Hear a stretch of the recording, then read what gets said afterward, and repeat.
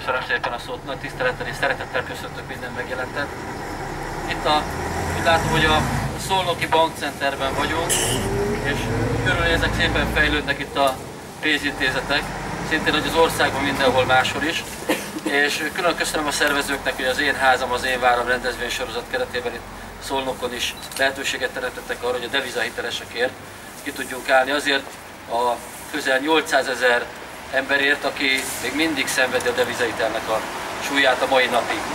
Ne felejtsük el azt, hogy ez a 800 ezer ember mindig kevesebbet mondanak, de az árfolyamgátosokat is soroljuk csak közéjük nyugodtan, hiszen itt csak ki van tolva 5 évvel az a katasztrófa, amit gyakorlatilag egy kis elodázással a mostani kormány próbált arrébb terelgetni. De tudjuk azt, hogy a gyűjtőszámlákon, azon a bizonyos gyűjtőszámlán, amit sokat emlegetnek, már most 13 ezer milliárd forint van, és azt egyszer valakinek vissza kell fizetni. Tehát még egyszer köszöntök mindenkit itt a bankcenternél, Szolnoki bankcenternél. Tudjuk azt, hogy ez a hatalmas fejlődés, ez közvetlenül azután indult el, miután a szovjet csapatok elhagyták Magyarországot, majd tíz év eltelt mindenféle maszatolással, és itt ezeken a ragyogó demonstrációs kellékeken szinte mindegyik arcot látom, aki ebben felelős volt. A 2000-es években, amikor a devizételes probléma elkezdődött, akkor gyakorlatilag arról volt szó, hogy az autóhitelezésre egy, egy osztrák konstrukciót próbálnak bevezetni, egy olyan osztrák konstrukciót, ami a Svájcban dolgozó osztrák állampolgároknak készült. Elképzelhetjük, hogy milyen volt akkor a életszínvonal Ausztriával, illetve nálunk. Hát sikerült becsempészni ezt fő alatt, ezt a devizaitel címszóval kitalált gazemberséget a magyar pénzintézetek közé, és nagy támogatásra lelt például Gyurcsány Ferenc és Megyesi Péter személyében, azokban a politikusokban, a vezetőkben, akik akkor ezt rendkívüli módon támogatták. Hiszen akkor megszűnt az a kedvezményes lehetőség, amivel a fiatal magyar állampolgárok lakásra tehettek volna szert, és ehelyett úgy vezették be a devizaitelt a magyar köztudatba, hogy az embereknek gyakorlatilag a világ legnagyobb becsapását kényszerítették rá. Ezt egyszer úgy fogják emlegetni, mint a Panama csatornát, a panamázás címszóval, hogy az ember mindig asszociál, de a devizázás címszó is az lesz, ami annak idején a panamázás volt. Az, egy országot ilyen gyalázatos módon kifosztani még senki nem fosztott ki. Ehhez persze nem csak a bankok kellettek, a bankok az eszköz egyik része volt, kellett a politikai rendszer és kellett a Nemzeti Bank is, aki ezt az, ezt az egész katasztrófát elengedett gyeplővel nekilódította az állampolgároknak. Ne felejtsük el, hogy a csúcspontján, amikor igazán kitölt a válság 2009-ben 1,2 millió devizaitel volt kint, ami 2011-re olyan 800 ezer környékére csökken, és ezekből különböző maszatolásokkal, ugye a kormányváltásnál alig vártuk, hogy ez megoldódjon. A kormányváltásnál egy törvényerejű rendelettel, törvényekkel meg lehetett volna akadályozni, kétharmaddal volt a kormányzó párt, kétharmaddal van a kormányzó párt, és látjuk, hogy semmit nem tett a devizételesek érdekében, mert a végtörlesztés arról szólt, hogy akik ki tudták fizetni, azok megtették, ez kb. 160 ezer ember volt. Innen tudjuk azt, hogy pontosan miről van szó, mert a 18%-a volt a devizételeseknek. Innen tudjuk a pontos számot, hogy akkor 880 ezer devizételes volt nehéz helyzetben. Aztán jött az árfolyam gát, ami arról szólt, hogy toljuk ki, próbáljuk meg átpasszolni egy másik politikai ciklusba a devizételesek problémáját, és amikor ez sem ment, mert 2012-től öntudatos hazafiak, radikális változás követelő emberek igenis a testükkel, most a kezükkel védték meg a kilakattatásra ítélt családokat sokszor. Jó magam is többször voltam előállítva egy ilyen, ilyen akciók során. Ö, nem is gondolja az ember, hogy milyen keserves küzdelmeket kellett vívni azért, hogy gyermekeket mentsük meg a nevelő otthontól. Hogy beteg gyermekeket ne hagyjuk, hogy kirakjanak a lakásból, végrehajtók, olyan végrehajtók, akik, akik egy csalás sorozatnak a részesei.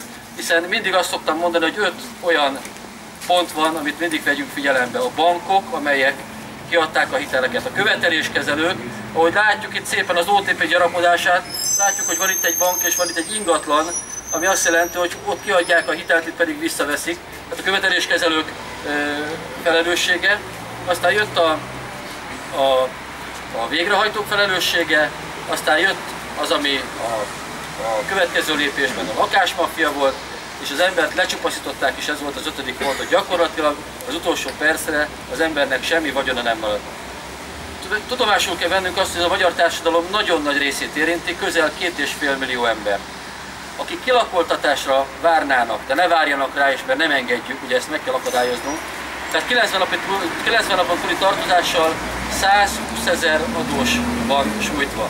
120 ezer adóst rakhatnának ki akár ma a lakásából, hogyha nem lenne egy kvóta törvény, de ez a kvóta törvény sem humanitárius okból van, vagy szociális gavallérságból, hanem azért, hogy ne omoljon össze az ingatlanpiac.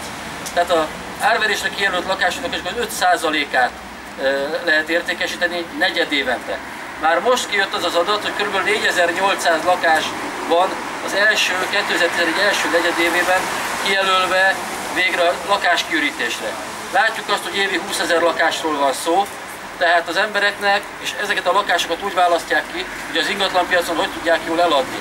Tehát még ez is meg van tervezve, ilyen csalássorozatokat, ilyen rablógazdálkodást, ilyen gazemberséget csak úgy lehetett végrehajtani, a magyar politika elengedi a devizételesek kezét. Akkor arról szólt, hogy keressük az igazságot, hogy a forduljunk bíróságokhoz, jogászokhoz. Láttuk, mi történik. A kúria ítéletet hoz először az árfolyamrés ügyében, ami nem döntő, hát arról van szó, hogy egy szerződésben mindent taglalni kell, ami fontos. Tehát minden költségnek benne kell lenni. Egy költség biztosan nem volt benne, erre a kúria olyan döntést hozott, hogy módosíthatják a szerződést, állapítsuk meg egy százalékba, és akkor holnap után minden rendben van. Tehát gyakorlatilag arra akarta a bankokat ösztökélni, meg az adósokat, hogy egy oldalon a bankok után sokszor még egyszer változtassanak a szerződésen. Az Európai Bíróság ezt ugye visszavonta, azt mondta, hogy nem lehet, de könyörgöm, kedves hölgyeim és uraim, jobb lesz így nekünk? Amikor a kormány egyetlen tolvonással meg tudná oldani, a 800 ezer devizás helyzete a bíróságra kerülne, évtizedekig tartanának a perek. Ezt csak politikai döntéssel lehet megoldani, és egy nemzet stratégiai kérdésről beszélünk, és egy nemzeti katasztrófáról, hogyha ezt nem oldjuk meg. A devizaiteles kerekasztalnak nagyon nagy szerepe volt abban, hogy a devizaitelesek le tudtak ülni egy asztalhoz azokkal a politikusokkal, akik ezt komolyan vették. Tehát az összes parlamenti párt, az urak is, akik itt a képeken szerepelnek, meg lettek hívva ahhoz az asztalhoz, ahol a, ahol a megoldást keresték a valóban érintettek. Egyetlen egy politikai erő jött el, erre a kerekasztal tárgyalásra, ez pedig a Jobbik Magyarországért mozgalom volt, hogy már jelzi azt, hogy ki szeretne megoldást ebben a kérdésben. Mondom ezt civil érdekvédőként, mert uh, tudni kell, hogy én radikális változás híve vagyok, és azokkal érzem jól magam, akik szintén radikális változást szeretnének, akik a banki terrort, a banki uralmat és az állami gazemberséget is át tudnák alakítani egy tisztességes magyar társadalom alappilléré. Én azt gondolom, hogy a következő időszakban olyan emberekre kell letenni a voksukat, akik a magyar társadalmat igazán képviselik. Nem csak a parlamenti választásokra gondolok, hanem a hétköznapokban is. Igaz emberekre van szükség, mert csak úgy tudjuk megoldani ezt a gigantikus problémát, hogyha egymás kezét megfogjuk, és nem hagyjuk a rászorult embertársainkat, hogy olyan gazemberek, akik ilyen bankokat építenek a mi elrabolt pénzünkből, kirakják a lakásukból, azoknak a gyerekeit nevelő, nevelőintézetekbe vigyék, és utána pedig, amikor már nincs semmiük, akkor is megterheljék őket több tízmillió nem valós követeléssel. Úgyhogy még egyszer köszönöm a szervezőknek, hogy teret adtak ennek a lehetőségnek, hogy néhány szóban a devizételesek kérdésével foglalkozzak. Sok sikert kívánok mindenkinek, és kívánom azt, hogy az összefogás országosan terebélyesedve valóban megoldja a problémát. Köszönöm, hogy meghallgattak.